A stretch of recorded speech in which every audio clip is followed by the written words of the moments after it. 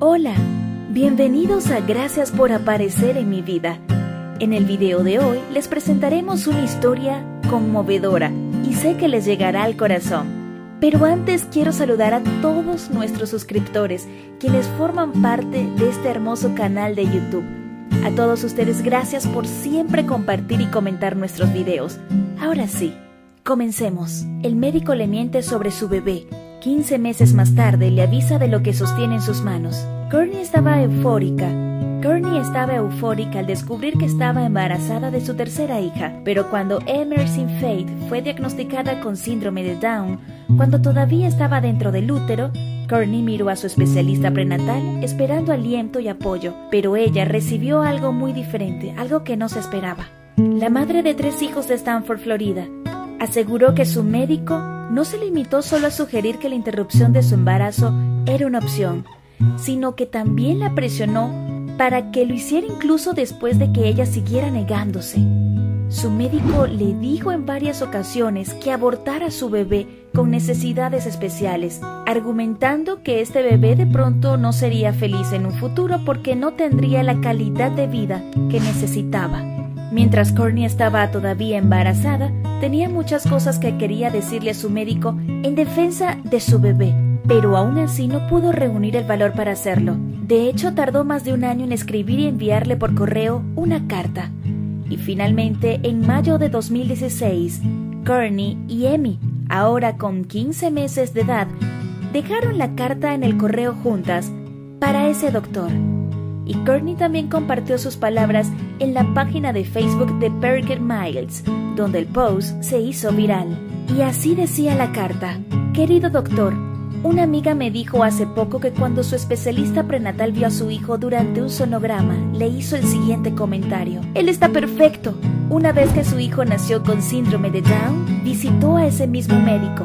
Él miró a su pequeño hijo y le dijo, Te lo dije, es perfecto.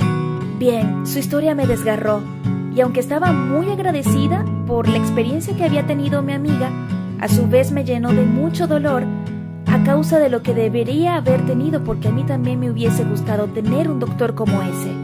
Le conocí durante el momento más difícil de toda mi vida. Yo estaba aterrorizada, ansiosa, triste y completamente desesperada. Todavía no sabía la verdad acerca de mi bebé por eso le necesitaba desesperadamente usted. Su opinión era muy valiosa, pero en lugar de encontrar apoyo y aliento, usted sugirió que abortara a nuestro hijo, y eso no era lo que yo me merecía. Nos preguntó de nuevo si entendíamos cómo bajaría nuestra calidad de vida con un niño con síndrome de Down. Sugirió que reconsideráramos nuestra decisión de continuar con el embarazo. Desde esa primera visita, Teníamos miedo de nuestras próximas citas con usted. El momento más difícil de mi vida se hizo casi insoportable, ya que nunca me dijo la verdad, la cual era que mi hija era perfecta. No, no estoy enojada, no estoy amargada, más bien estoy muy triste. Estoy triste de los diminutos corazones palpitantes que ve todos los días y que llenará de temor. Estoy triste porque se equivocó mucho al decir que un bebé con síndrome de Down disminuiría nuestra calidad de vida. Tengo el corazón roto por saber que usted también le pudo haber dicho eso a otra madre. Pero sobre todo estoy triste porque nunca tendré el privilegio de conocer a mi hija, Emerson. Como ve, Emerson no solo nos ha dado más calidad de vida, sino que ha tocado los corazones de miles de personas. Ella nos ha dado un propósito y una alegría que es imposible expresar. Nos ha dado las sonrisas más grandes y las risas y los besos más dulces que nunca hemos conocido. Nos abrió los ojos a la verdadera belleza y al amor puro. Doctor, hoy rezo para que ninguna otra madre tenga que pasar por lo que yo pasé. Mi oración también es para usted. Ahora vea la verdadera belleza y el amor puro con cada sonograma. Realmente mi oración es para que cuando vea el próximo bebé con síndrome de Down, escondido en el vientre de su mamá, mire a esa madre y le vea diciéndole la verdad. Su hijo es absolutamente perfecto.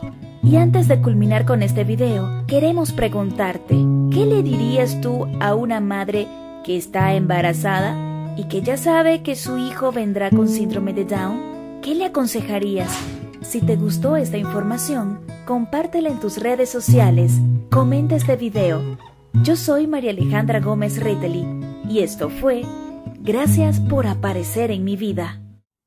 Pasará el tiempo y seguiré pensando en tus ojos, tu sonrisa, como yo te conocí. Por eso, nena, gracias. Gracias siempre, gracias. Gracias por aparecer en mi vida.